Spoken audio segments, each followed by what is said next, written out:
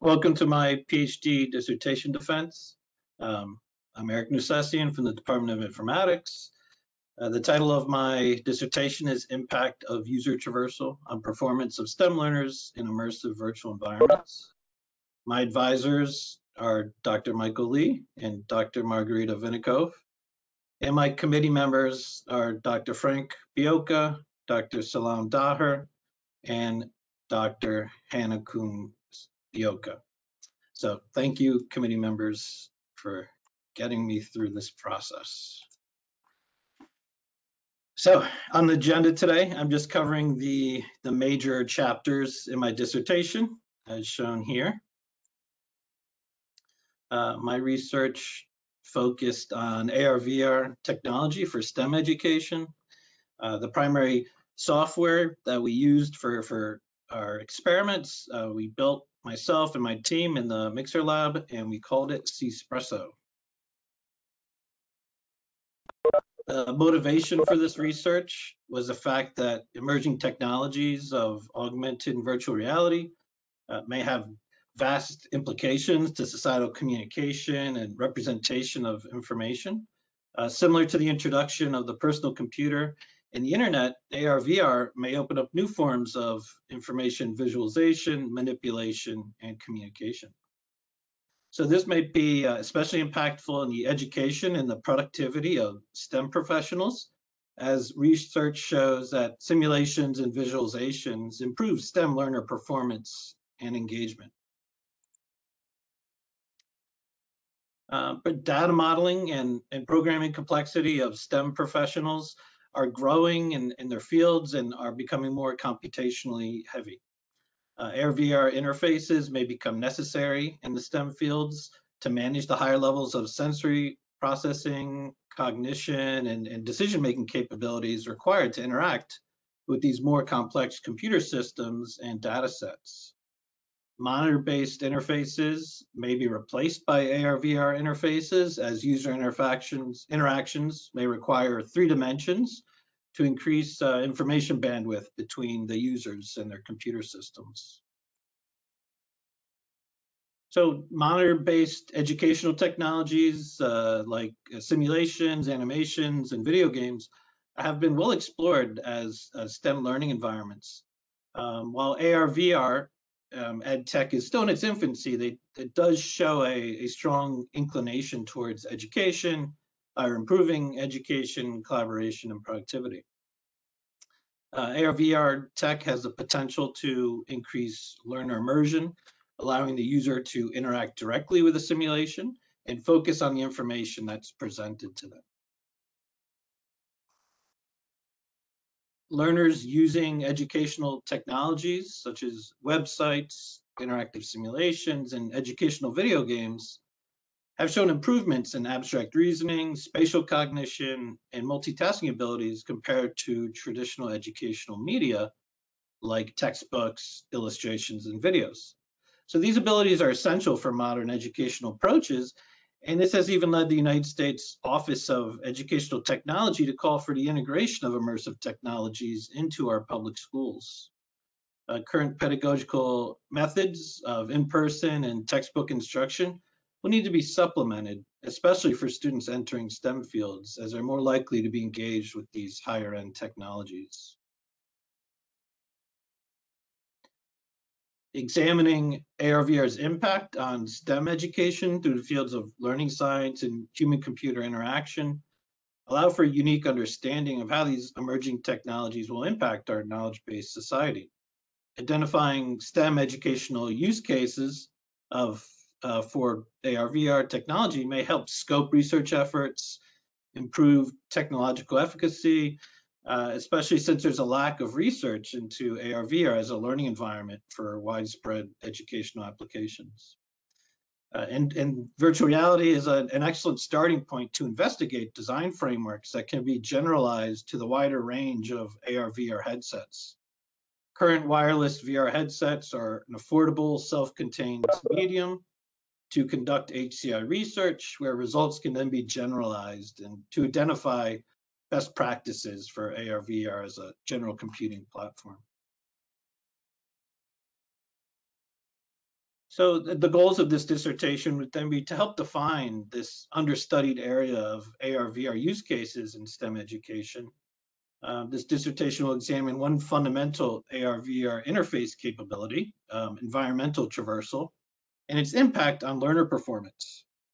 AR/VR is, is currently the only computer interface which affords the user this type of environmental traversal capability. And since it's a relatively new research area, little is, little is known on how environmental traversal will impact uh, user learning performance in these AR, VR um, virtual learning environments. So it's important to compare different environmental traversal interactions across and within uh, AR, VR, and other learning mediums to see if there is an impact. Um, across learning mediums, um, for example, that would be looking at live instruction uh, versus uh, using an AR, VR educational technology. And within the learning medium of AR, VR, we might look at varying different types of interactions. In this case, varying uh, different traversal methods and styles. So the goal of educational technology is, is not to replace live instruction, uh, but to ensure that comparable alternative learning opportunities are available when live instruction needs to be supplemented to keep the learning potential high for the student. Uh, AR/VR is currently the only educational technology that, that offers this, this type of environmental traversal and interacting with, with 3D objects laid out in a spatial way.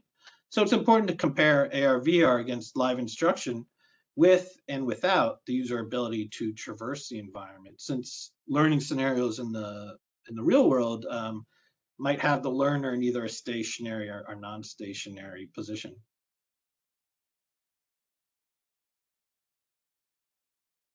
Now, the first goal of this dissertation is to understand the efficacy of AR/VR against live instruction with the user within the AR/VR headset, their ability to traverse um, without them to be able to traverse the environment. Now, this is because that the common learning arrangement for a student is to be in a stationary position. So it would be important to understand how a non-traversable AR/VR learning environment impacts user performance compared to a similar uh, stationary situation in a physical learning environment. Uh, as a supplemental educational technology, non-traversable AR/VR uh, would its efficacy would need to be verified and it would need to be understood um, how it impacts a user's perceptions of their learning material.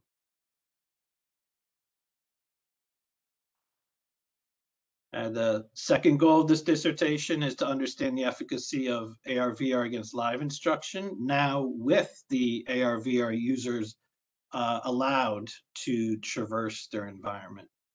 And although that it's uh, common for students to be in a stationary position while seating, uh, that's not always the case. Um, in fact, it might be necessary to allow a learner in a physical uh, environment with live instruction to be able to move throughout the learning environment to help them learn the subject matter it, it, would be important to understand how a traversable AR/VR learning environment impacts user performance and compare this to the stationary physical learning environment. Uh, and again, as a supplemental educational technology, that the efficacy of a traversable AR/VR environment would need to be verified. It would need to be understood how traversing an environment instead of being stationary in the, the physical environment in a traditional manner, how does moving, how does that help support the learning performance? And so then the third and final goal of this dissertation is to understand the impact of varying the method of this traversal interaction available within the AR-VR interface. Um, although it's common for students to be in a stationary position, you know, that's again, that's not universal. Um, in fact, yeah, I can think of situations like physical lab experiments where students are actually required to be mobile. They must move around the lab table and they must interact with the equipment to finish the the, the, the lab exercise and, and to learn the material. So as a supplemental educational technology, the efficacy of a traversable AR/VR environment would need to be verified on different varying um, impacts on the, the user's uh, traversal of the virtual environment. So these different styles and types of traversal methods uh, would need to be examined and how their impacts to the user performance and their usability preferences would need to be understood. Since this is an initial exploration into this domain, into studying these traversal interactions and AR/VR interfaces, uh, we, I'm looking at a straightforward test. It involves comparing the most natural traversal method available within the AR/VR interface against a more limited form of the same traversal method. So this would look like, um, this could be one user, one, one group um, is allowed to naturally walk through the virtual environment exactly as they would in their physical environment, compared against another group where their traversal method would be that they're still moving throughout the environment, but they're using a controller pad or a game pad while they're standing still to move the environment around them.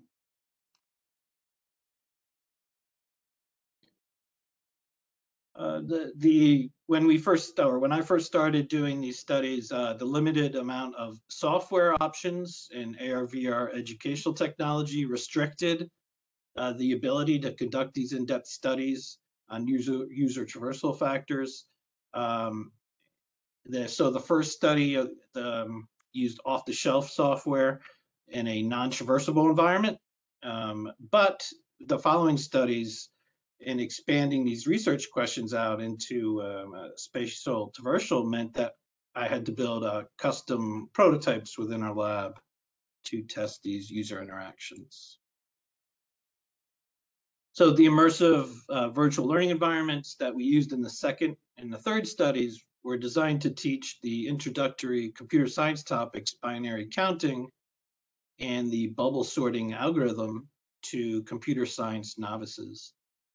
Uh, the educational technology built in the prototyping process, uh, we ended up calling C-Spresso, uh, the CS in the beginning for computer science, and Espresso like a um, a very rapid and fun and active way of learning the material. And it's designed for students to learn at their own pace in an effort to have them internalize the concepts that to produce measurable learning outcomes. Uh, the prototype was designed to simulate uh, learning experiences, uh, situations usually found in physical learning environments, and aiming it to increase engagement and measurable uh, teaching concepts in, in STEM to a wide range of learners, just as effectively as they would in a physical environment. So now the related works that were reviewed for this dissertation uh, looked at prevailing theories and models of human cognition in the fields of educational psychology, learning science, human factors, and human-computer interaction. Uh, this review of human cognitive models uh, was necessary to identify areas of research that may offer insights into effectively designing for AR/VR educational technology. In addition, reviewing the current state of technology use cases in STEM education, mostly focused on monitor-based edu um, educational technologies, really helped to identify learning challenges that were appropriate uh, for AR/VR interfaces. So many psychologists use Piaget's theory of cognitive development in Vygotsky's social cultural perspective as, as frameworks for cognitive development. Uh, for this dissertation, I'll focus on uh, Piaget's theories. Uh, so he argued that human cognitive processes change slowly but drastically over time as humans make sense of the world around them. Uh, he looked, he identified four factors that uh, impacted these cognitive processes, biological maturity, activity, social experiences, and equilibration. And then these factors really pushed toward uh, two thought processes that, that he focused on, organization and adaptation.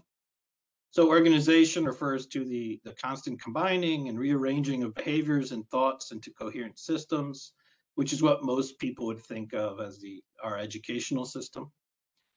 Uh, adaptation refers to the adjustment of behaviors and thoughts to the environment, uh, which indicates that environmental factors may be an important consideration for both physical and, and virtual learning environments. And, and this really led to the uh, fundamental constructivist principles that, that learners are active in constructing their knowledge. And this is really what's essential to modern design of, of STEM pedagogy and educational technology.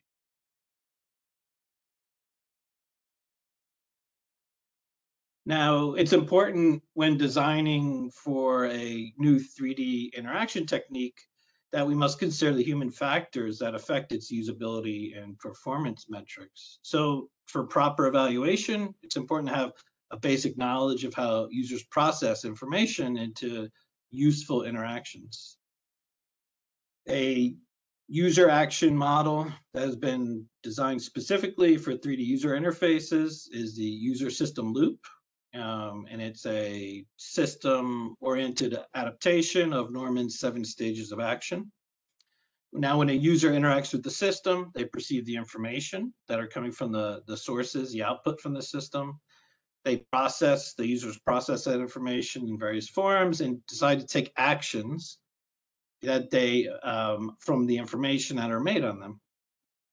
Uh, the system, based on these these interactions through the input devices, system will return information back to the user as they receive feedback on their actions, and this starts a new cycle on the information processing loop. So this is similar to how a teacher would build this type of information processing loop in their classroom's interactions for effective learning of their students. Now, designers of AR VR educational technology need to be keenly aware of how the, the virtual learning environment is interacting with the user with this type of feedback loop.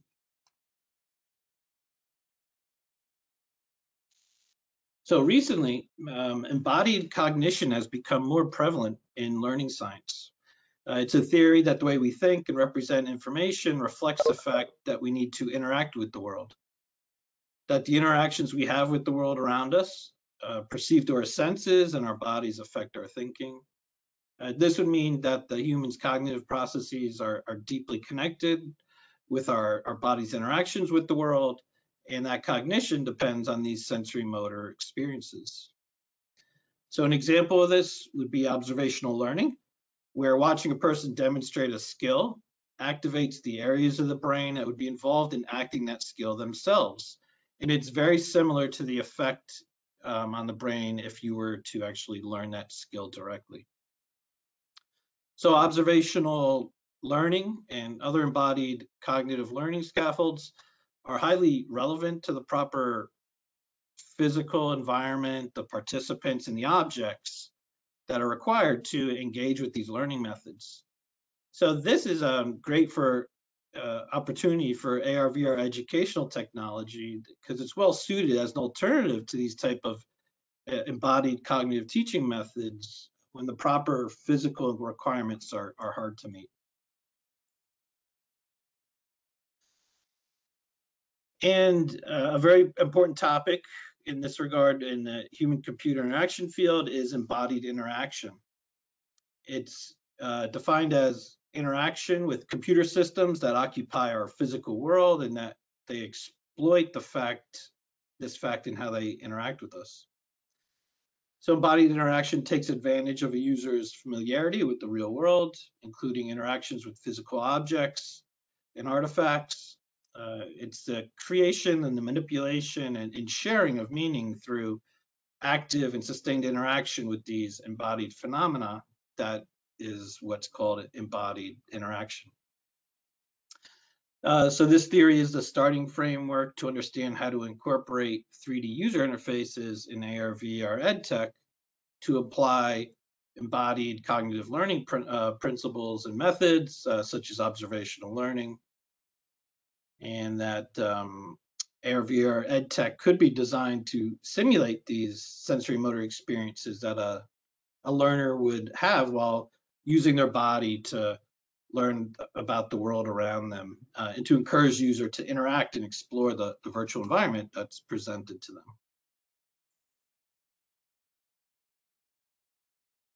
So um, issues with contextualizing, effectively demonstrating, and, and visualizing class materials a constant concern for STEM educators. And it's characterized as a disconnect between the students' perspectives in the pedagogical frameworks of the topic.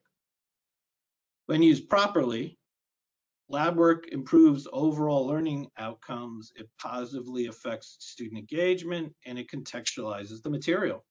Yet there are challenges to overcome with implementing physical lab work, including safety and cost concerns that point to educational technologies as a solution.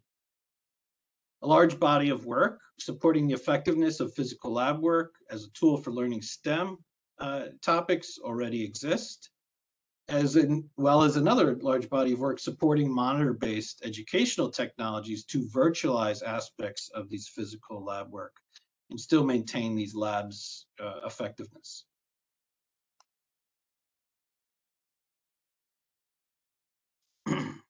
so while AR/VR educational technology is not reviewed heavily in this regard, the current literature suggests that virtualizing physical lab work may be a primary use case for future AR/VR technologies in the STEM fields. And uh, in addition, what, what research does exist indicates that AR/VR learning environments can promote discussion of ideas between learners uh, with enhanced uh, spatial and, and visual explanations of abstract topics supported by user environmental exploration and interactions are not easily reproduced in physical environments. This uh, lack of uh, research with um, AR, VR educational tools as a, as a learning environment um, means that it's important to examine its impact on STEM education through the fields of learning science and human-computer interaction, as it may allow for a unique understanding of how these emerging technologies will impact our, our knowledge-based society. So to address this research gap, this dissertation examined uh, a fundamental AR/VR interface capability, uh, the ability to traverse a virtual environment, and looked at its impact upon learning. So the first study of this dissertation compares the performance of STEM learners uh, in a physical learning environment and a virtual learning environment, both with no environmental traversal abilities. The second study of the dissertation uh, compared the performance of STEM learners uh, stationary in a physical environment against STEM learners that are mobile in a virtual environment. So physical, no traversal versus virtual with traversal.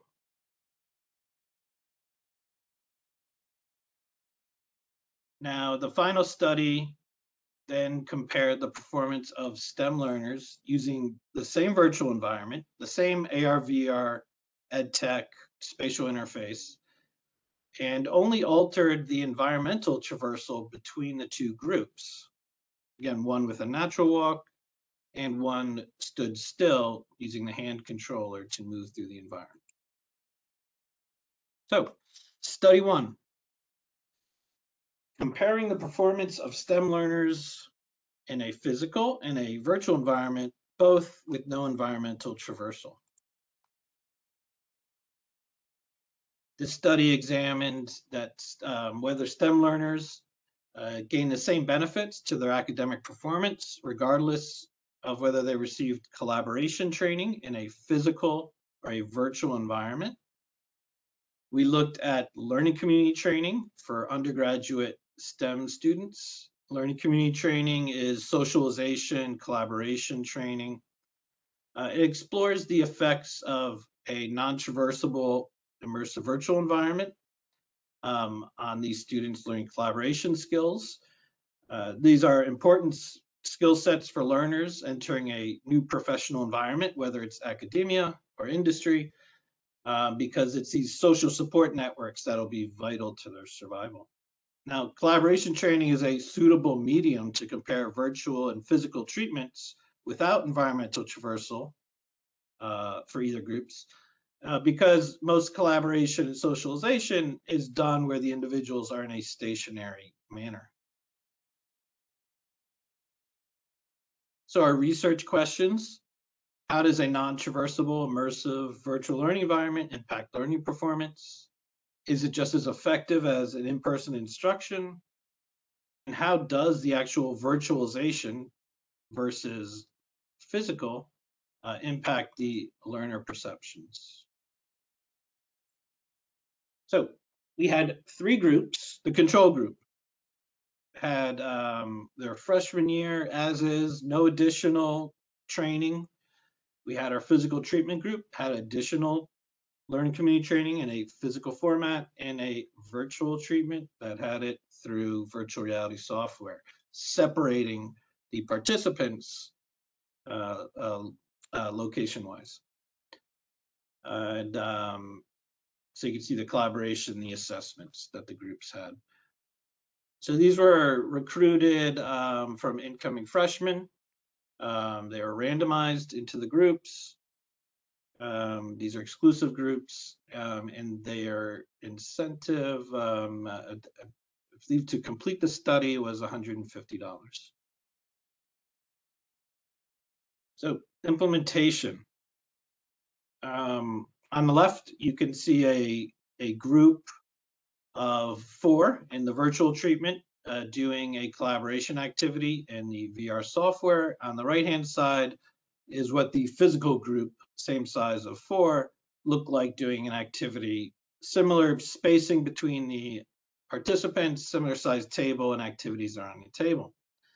So the activities were aligned that whatever interactions you had in, in virtual, you have to have in, in physical. And we worked with the freshman year seminar director to develop this curriculum. Uh, the treatment subgroups were of four because that's the max that you could fit into the VR software, which was Facebook Spaces. The interactions that are available in that space are um, your voice, um, your body uh, poses and movements, uh, the use of a pen that draws in 3D space, uh, playing cards, dice, and any 3D models you wish to import into the package. Uh, the students met for eight weeks of training out of a 15 week full semester. And for each of those weeks, they met one hour during the common hours. The curriculum that both the treatment groups received of the eight weeks are listed on the left. Um, the virtual treatment lagged behind the physical treatment by one week because that first week they had to be introduced to the VR software as their first activity. These activities revolved around philosophical arguments, um, uh, group group uh, group work and decision making activities, logic puzzles, um, and fun ice breaking games. So Pictionary and charades are the fun games. Um, the the the philosophical group decision making situations are lost at sea and ship of theseus and, and the students you see at the right are actually going through the lost at sea activity. So the um, assessments that we had the the participants do all the participants for these assessments including control once a week they had to fill out a social metric. As you can see on the left um, the, a they had to fill out um, the names of students that they had academic socialization with and what class it was in relation to. Now we looked bi-directionally. We said, if you gave a student five minutes of help outside class time for the week, that means you had academic interaction with them, socialization. And if they helped you, for at least five minutes a week outside class time, then that was academic socialization, and we looked at the directions of each uh, each socialization interaction. On the right-hand side, these uh, academic performances were done about once a month. We did we lined them up with the Common Core exams, which were three times during the semester, in addition to the final exam at the end of the semester. So four data points. And um, this, they had to fill this out for each of their Common Core classes of the science and engineering. And it was a self-reported metric um, given a week before the exam to not give them anxiety on their performance. Um, at the end of the semester, we interviewed the two treatment groups. Uh, the protocol that we followed was a one hour semi-structured interview Um, we had 26 from the virtual group, 19 from the physical, total 45.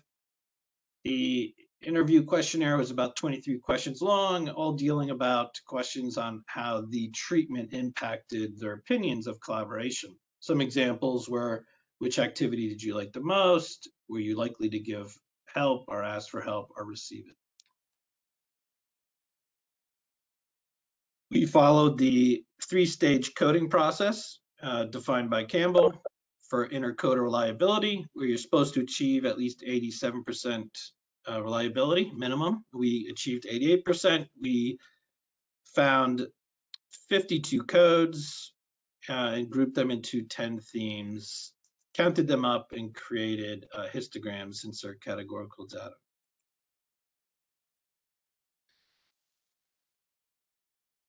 Um, the results in this case dealing with the academic difference between the treatments and the control.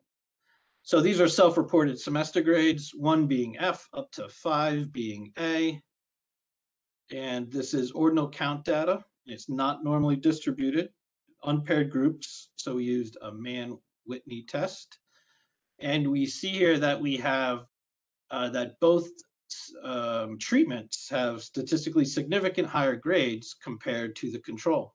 At the top, you see the physical treatment compared to control, and at the bottom, it's showing a statistical significance between the virtual and the control.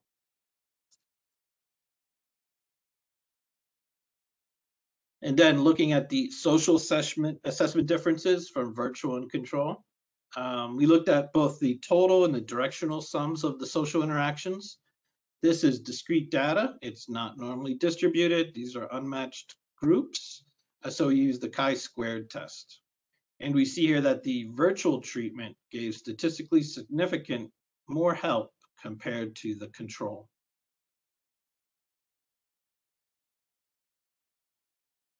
Now moving on to the interview data. So uh, this is showing one theme. Remember, I was saying that there were 10 themes that were um, um, uh, with our two review, our two researchers that went through the interview process, uh, review process. We found um, uh, 10 themes. This one is an interesting one to report on. The perception of roles in collaboration. So we have the virtual group in blue, the physical group in orange. And what's interesting to see here is that um, the virtual group, um, they got their treatment through virtual reality, seem to report higher on that their perceptions of their roles had to deal with a natural role of collaborating and that is more focused on their ability when they collaborate. Whereas the physical group was reporting higher on being a follower. So we see that um, virtual treatment may have positive impacts on user perceptions, on leadership roles. I'm more natural, I'm more, it's more of my ability to collaborate as opposed to being a follower. This theme is uh, about motivations behind collaboration. And we can see here that the physical group is reporting on a code more about um, sharing of ideas. So my motivations behind collaboration were about sharing my ideas from the physical treatment. And the virtual treatment is reporting more on a sharing their workload and helping. So we see a difference here on the group functions. Their opinions of what the group is supposed to do in a collaboration. I'm supposed to share my workload. I'm supposed to help from the virtual treatment. In the physical treatment is about sharing of ideas. So the first study of this dissertation uh, compared the performance of STEM learners within a physical and a virtual learning environment, both with no traversal capabilities. Uh, the learners in the physical uh, treatment were seated during their experience. The learners in the virtual um, had the preference to sit or stand, but they could not move as their interface surrounded them in their reaching distance. Um, we saw that the STEM students, no matter what the treatment, physical or virtual, had improvements or statistically significant improvements to their academic performance compared to the control. And that the virtual treatment um, offered, we saw a statistically significant difference in how much help they offered their peers in informal social settings compared to the control. And based on our interview data, we saw that the, the virtual training may impact uh, perceptions in a positive manner toward uh, leadership roles and group performances. So the evidence for this study suggests that instructional delivery in a virtual environment with no traversal capabilities um, of the, the spatial AR interface offers comparable learning efficacies to the physical treatment, physical environment. So the second study of the dissertation compares the performance of learning in a physical environment in a stationary position against learning in a virtual environment requiring environmental traversal across the spatial AR interface. Um, this study explores the effects of this traversable virtual learning environment against the, the stationary physical. Um, the, the sessions were at a, a summer computer science camp for middle school children. And um, the curriculum there was using constructivist learning, active learning techniques for computer science. Uh, this lesson that involved the experiment happened to be on binary counting with an active learning activity from CS Unplugged. It's a very popular uh, teaching method that uh, focuses on teaching computational thinking without using computers to CS students. So since both the physical and the virtual learning activities um, we're using the same active learning scenario, um, and that we've already compared stationary uh, virtual learning environments to stationary physical learning environments, then this is a, a suitable medium to compare the virtual uh, and the physical learning environments while varying the traversal interaction between the two. So our, our research questions are how does this traversable immersive virtual learning environment impact learning performance? Is it as effective as in-person physical instruction? And how does this learning uh, in, a, in this traversable virtual environment impact engagement and usability factors for the learner? So in this study, uh, we had 34 uh, summer camp students, 19 girls, 15 boys, all from fifth to eighth grade in middle school. They were randomly assigned into a control and a treatment. The control was live instruction. The treatment was the virtual learning environment. These are exclusive groups. And this is the gymnasium here where we did our testing for the virtual treatment and each user was guaranteed at least 20 by 20 of empty space, 20 by 20 feet of empty space to roam about. And you will see in a minute um, why that was important with the system. So um, the participants started in the center of this 20 by 20 space. They spawned into this world this virtual space. And you can see that there's these task stations surrounding them and you don't go past this green boundary. So in, a, in, a, in effect, it was a circle, this external wall boundary, a circle of a diameter of 20 feet. So the player starts in the middle, guided through a tutorial to approach the task station, get a task, set your, your parameters and your number, color, and shape station, which then you generate output and give it to the task station to hopefully solve the task correctly. If not, you have to repeat through and change your parameters on the number, color, and shape station. Here's what the user uh, saw in the virtuality headset. Uh, there's no audio. And these are the visuals. This is the number station. Um, this was the low fidelity uh, prototype, just using cubes and basic colors, really focusing on the UX design. And um, here's there's there's three levers. Um, each are powers of two. You add them up, you count them for binary math. And then there's a little chart on the side, and there's an interactive um, display at the top which shows them what they're counting up to.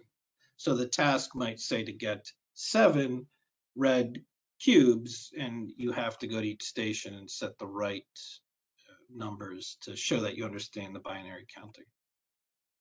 Now, this is the high fidelity version. Afterward, we got feedback from the users. We went back, We said that the UX cycles were good. We refined them a little bit based on the feedback, and then we put all our effort in refining the graphics and the animation.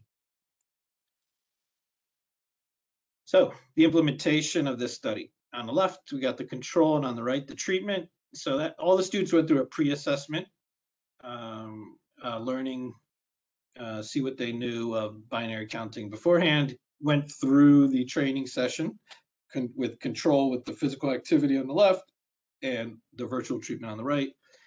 lasted about 20 minutes. Uh, the virtual treatment needed to be trained on how to do the equipment first. Then we had post-assessment um, of the learning assessment, and then we had an interview for the virtual treatment.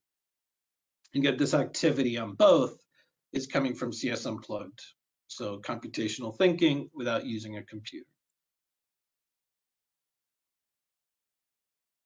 Um, here's our learning assessments. So these are also coming from CS Unplugged.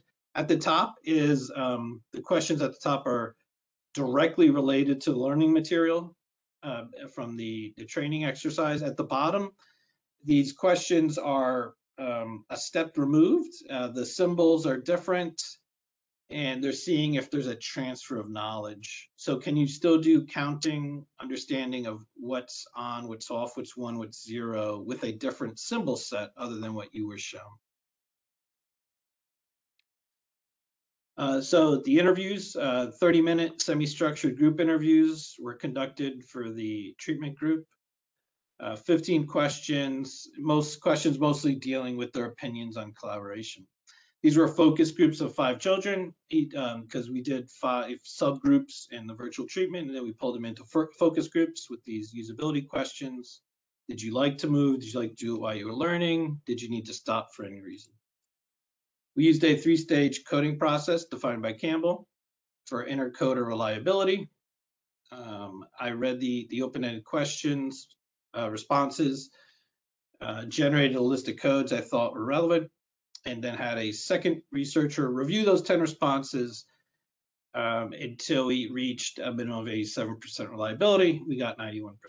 And then we coded the remaining responses and counted them up. So the results for this.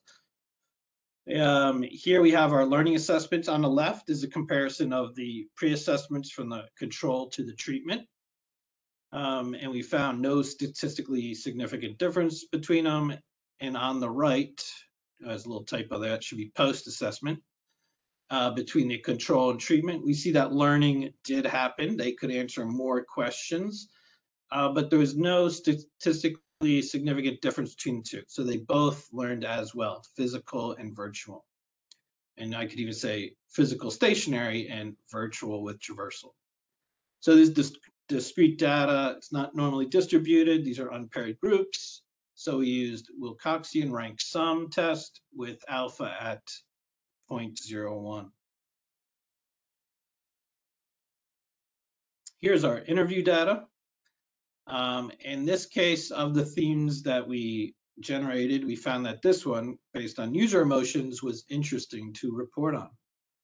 So here we have five codes, total of 36 counts, um, and we see on the left-hand side are three positive emotions, our codes related to positive emotions.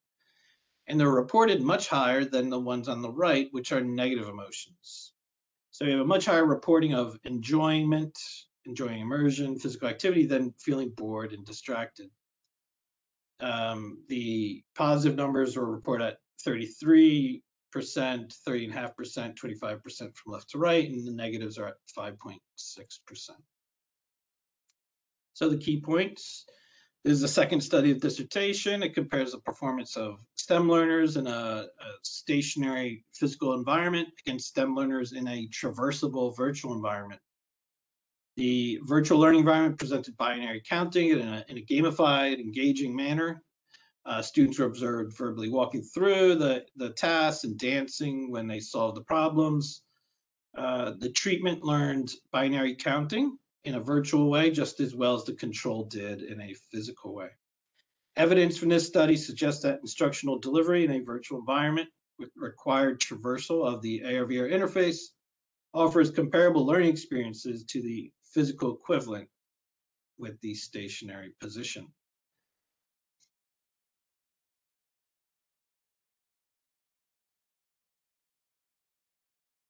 So now the, the final study, which compared the performance of STEM learners using the same virtual learning environment um, in virtual reality, but alters the environmental traversal ability between the two groups. One standing still using a game controller to move around the environment on the left, and the other group using a natural walking method free to roam on the right.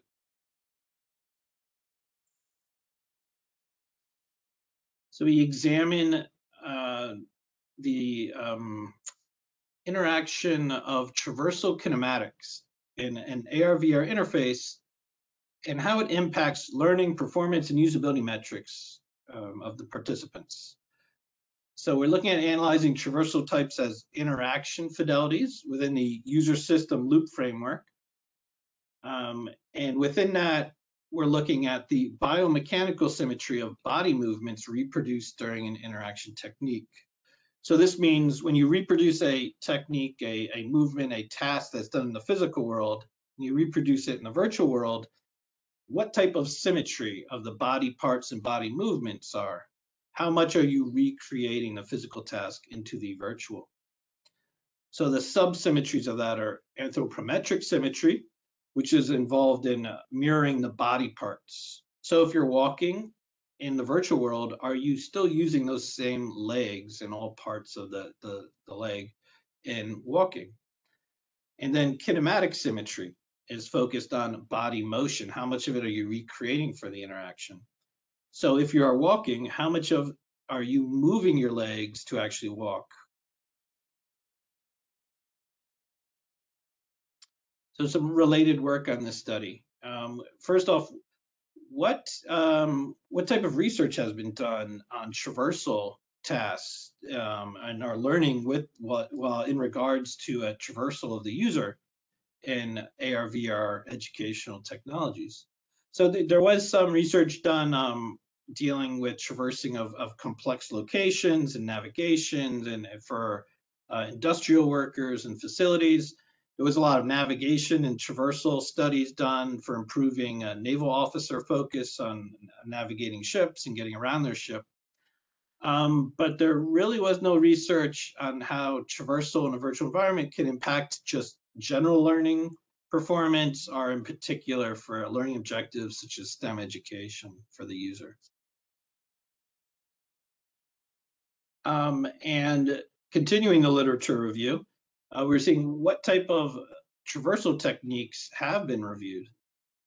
Um, so we saw, or I found a few studies that examined the basics of traversal in, um, in, in AR VR headsets and the psychological factors involved, uh, exploration and travel inquiry. Um, they looked at the theory of behind uh, user traversal and built a framework based on a natural walking style and a hand controller based uh, walking style and this is the basis for the, the walking styles that we use in our studies. Um, there was also a study on, on presence in virtual environments determined by the style of traversal. So there's a more of a, a natural walking style using a Wii balance board and a Kinect sensor, um, and then against the game controller based walking. And they examined um, how do these two different traversal styles impact the sense of presence for the user. Um, and they found that the more natural method uh, actually gave a stronger sense of presence. And that's interesting to look at, like, can we make use of this in a learning environment?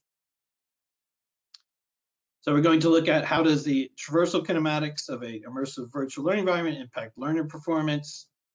Um, how does it impact, in, in particular, how does it impact learning, retention, task time completion, as well as usability?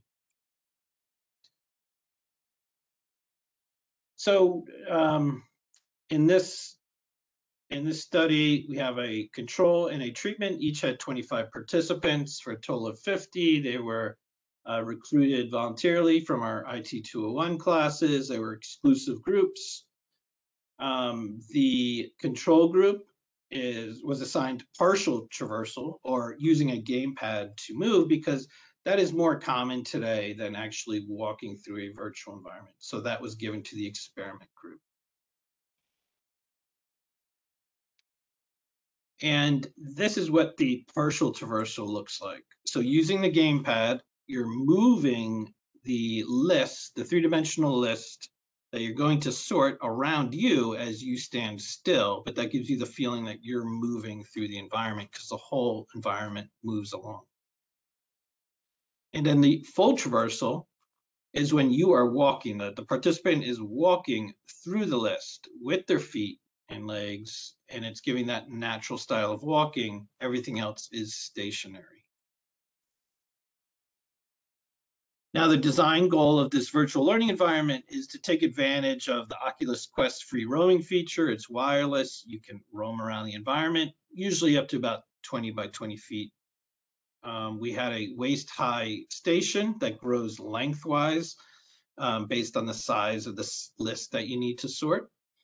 An interactive console in front of the user gives directions, it sorts elements, and allows you to traverse the list. So notice how the console moves to the right and you can only have two elements on that console at a time and those are what you can swap. And we get to the end of the list it moves to the front. And then we have directions guidance and hints in the ui behind it.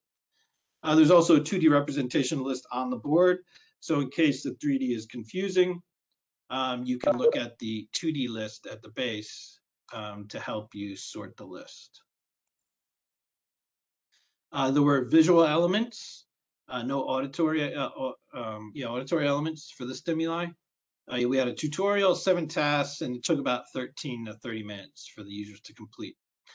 So the tutorial started with a list of three elements, and it grew up to a list of eight elements. Um, and to to show that that list came in complexity to see if they understood, they were able to process these longer lists. Uh, in the setup, we had a, a, big empty room in the lab, 20 foot by six feet per subject. So usually the subjects were moving left and right. So they didn't need a full room. They just needed a, a nice long corridor to move back and forth between. Had no physical obstacles. I had to train them and fit them with the VR equipment, instruct them whether they were to walk or use the game controller, and then instruct them on how to push their virtual hands through the virtual buttons. So in the procedure, we had our pre-assessment, our consent form, a demographic, a knowledge assessment. We went through equipment and procedure training. We had uh, the, the session, the training session lasting 13, uh, 15, 30 minutes, and then a post-assessment of our, our knowledge assessment, a motion sickness questionnaire, and usability questionnaire. And then retention was done one day, one week, one month later with the same knowledge assessment done remotely. This is what the knowledge or the learning assessment looked like, um, taken from uh, professional training websites, GeeksforGeeks and ProProfs. Uh, you can notice that the multiple choice questions get longer. So we start with a list of three and we move up to a list of six, mimicking the way that they learned. And they had to show all the intermediate, or they had to select the intermediate steps that were all correct to sort, to bubble sort the list.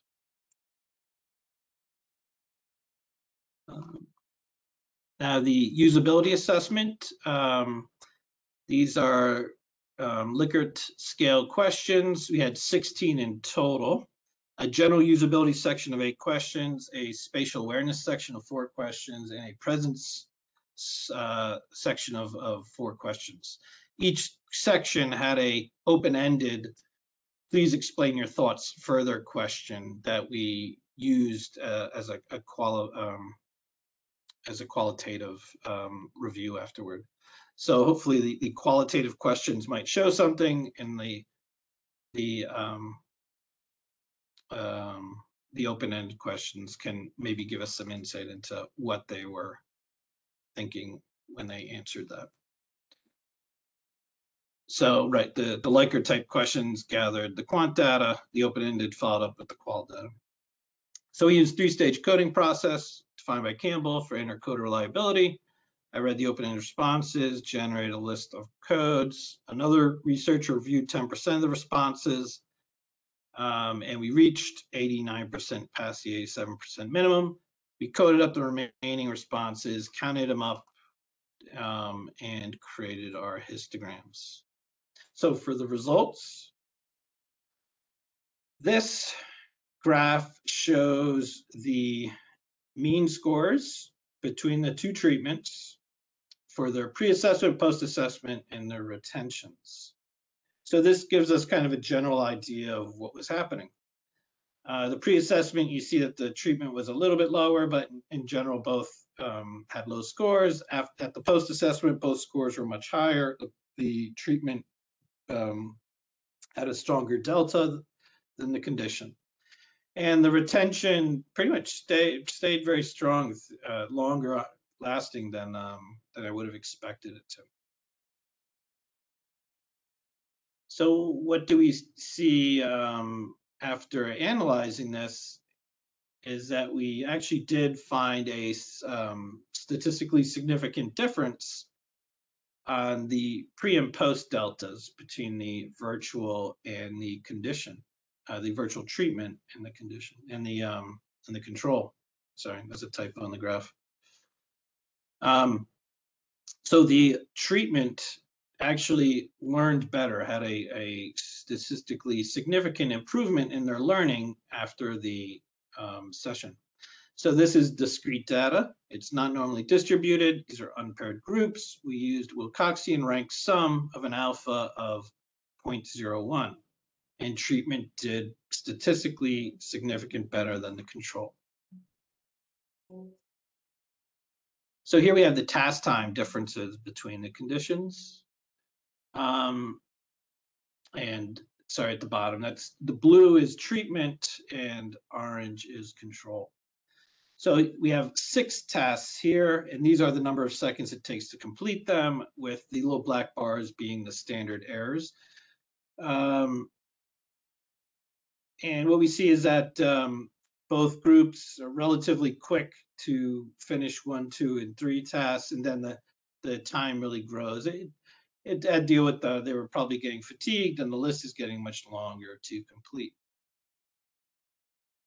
Uh, but we did find that's interesting is that for tasks one and two, the treatment did statistically significantly better or quicker to solve the tasks than the control group.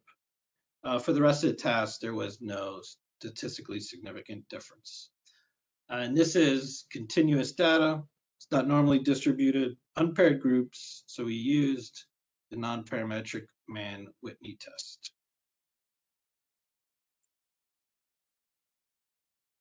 Uh, for usability differences, um, of all those uh, quant questions, those uh, Likert scale questions, we found that one had a statistically significant difference. So it was a question, how did you enjoy moving your body while learning? Now, the treatment group had a statistically significant higher score than the control group. And this is ordinal count data, not normally distributed, unpaired groups, and we use non-parametric Mann-Whitney test. Now to follow up on that quantitative Likert scale question, we looked at that open-ended response. Can you explain your your your your your um your responses more, right? And so here's the codes that that came out of that. And the interesting ones are are on the right hand side. So um, the code of I enjoyed the embodied cognition. I, I enjoyed moving while I was learning. Um, we see that the treatment reported that seven to one compared to the control. And we see that a, there's a kind of a, a much higher motion sickness difference as well that the condition was reporting that the treatment wasn't. Right, so the, the final study of the dissertation compares the performance of STEM learners using the same virtual learning environment, but alters the, the traversal ability between the two groups. Uh, it compares the efficacy of a natural walking traversal method to a hand controller based traversal method on learning performance for the participants. It was shown that the more embodied traversal of natural walking across a spatial AR VR interface does have a impact on the learn of the technology's learning efficacy. And evidence from this study uh, suggests that the more embodied traversal interaction of natural walking may offer better learning, usability, and, and task time performance to its users. So in summary, this dissertation presented several examples of, of AR/VR educational technology studies involving learners from primary and undergraduate STEM education. Each study found interesting learning and usability considerations while examining different STEM topics uh, with different kinematic symmetries of environmental traversal. And this led to the final identification of learning and usability impacts of the kinematic symmetry of these environmental traversals for one STEM learning task. Now, further studies would need to investigate a, a higher fidelity of these kinematic symmetries for these uh, traversal techniques. And we have to look at a larger spectrum of learning topics to, gener to generalize if this, this knowledge gained um, is applicable to, to, to broader areas of AR, VR, uh, and the HCI and educational technology fields. So in summary, um, we found that the, the first study compared STEM learners in a physical environment and a virtual learning environment, both with no traversal capabilities. Um, that both treatments had statistically uh, significant improved academic performance, regardless of their learning community training, whether it be physical or virtual, compared to the control, which had no learning community training. And we found that the virtual treatment gave statistically significant more academic help to peers in social settings compared to the control, and that the virtual treatment um, training may actually impact positively uh, uh, perceptions on leadership roles and group functions. So evidence from this study suggests that instructional delivery in a virtual environment with no traversal of the AR-VR interface offers comparable learning efficacy to the physical environment. The second study compared the performances of STEM learners in a stationary position in a physical environment against STEM learners in a virtual environment that allowed them to traverse the AR/VR interface. Now, the, the virtual learning environment um, presented uh, the, the learning in a gamified and fun manner, and the treatment uh, participants learned binary counting virtually just as well as the control with live instruction and evidence from this study suggests that the instructional delivery in a virtual environment with required traversal of the AR/VR interface offers comparable learning experiences to physical equivalent with a stationary position.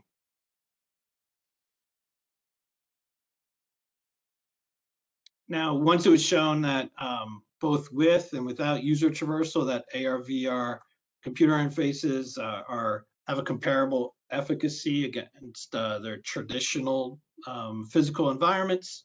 The third study looked at how to alter the user traversal ability um, within the same virtual learning environment and look at its impact on user learning. It was shown that the more embodied traversal of natural walking across the spatial AR interface may have strong impact on the technology's learning efficacy. Evidence from this study suggests that the, the more embodied traversal interaction of natural walking may offer better learning, usability, and task time performances to users, since that's where we saw the uh, statistically significant differences.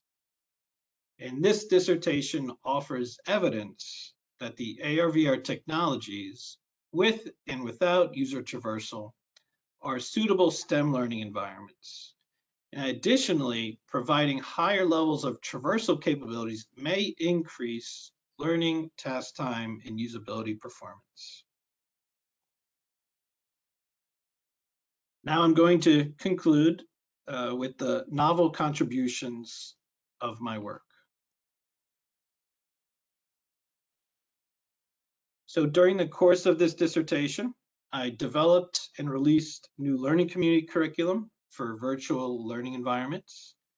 And I identified novel benefits for socializing within virtual learning environments. I designed new interaction techniques based on embodiment theories from learning sciences and human computer interaction for virtual learning environments. I identified novel benefits for interaction techniques for learner performance in these virtual learning environments, in addition to novel benefits of these virtual learning environments to secondary and collegiate STEM students. And this all wrapped up in the development and the release of computer science educational software on the Oculus Quest virtual reality system. So thank you for taking the time to listen to my defense. I would like to thank my advisors, Michael and Rita. Been a long effort doing this all, much appreciated. Thank you to all the teammates uh, who helped me along the way, in particular, Jessica, Adam, Shannon, Jerry, Brent, Chris, and Namita. And especially thank you, committee members.